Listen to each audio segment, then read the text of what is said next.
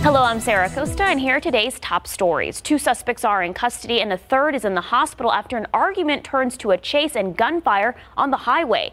This all started around 2 this morning. Two groups had a fight at the Twin Peaks near Huebner and Fredericksburg Road.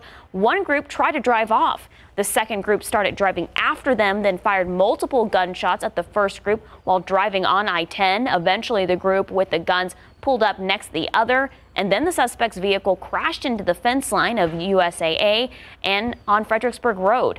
One suspect suffered several broken bones and was taken to University Hospital in stable condition. The other two suspects were arrested. No other injuries have been reported and charges are still pending. In your latest coronavirus numbers here in Bexar County, another 208 cases were reported. That brings our total to 46,291 cases. There were also 13 new deaths, bringing the death toll up to 793 people dying from COVID-19. Meanwhile, hospitalizations continue to trend downwards. City officials report 366 people are hospitalized with 174 people in the ICU and 111 people on ventilators. More than 40,000 people have recovered locally.